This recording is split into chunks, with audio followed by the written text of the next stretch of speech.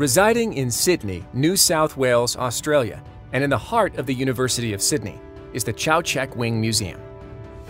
The museum is a culmination of many years of strategic planning that consolidates and showcases some of Australia's most significant artistic, scientific, and archaeological artifacts. With a specified design life of over 100 years, the aspiration for the museum is to be as highly regarded and iconic as the university's Great Hall and Quadrangle. The construction of the museum involved bulk excavation and construction of a six-level building with a floor area of 83,000 square feet. The choice of concrete as construction material was simple.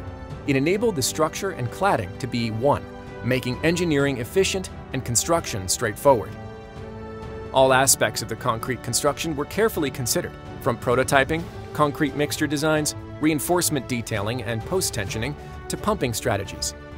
From the tinted precast elements featured in the lower half of the building to the ceiling of the entry level with all the cast-in services to the cantilevered box itself, concrete is featured prominently and is yet unobtrusively elegant.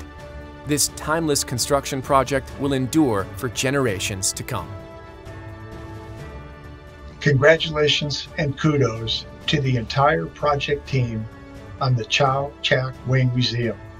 The stately and attractive building, iconic and purposely durable, is a striking architectural statement that features the clever engineering design of the concrete structure, creative engineering design of the concrete mixes, and a strong commitment to sustainability. While this project is striking from a design perspective with the iconic floating box and deep cantilevers, what impressed me the most was the amazing quality of concrete detailing and the quality of the concrete construction. But what makes this project particularly noteworthy is its commitment to sustainability and its focus on constructability. All this while meeting the demanding architectural vision. This project represents a model for concrete design and construction that we should all strive to achieve.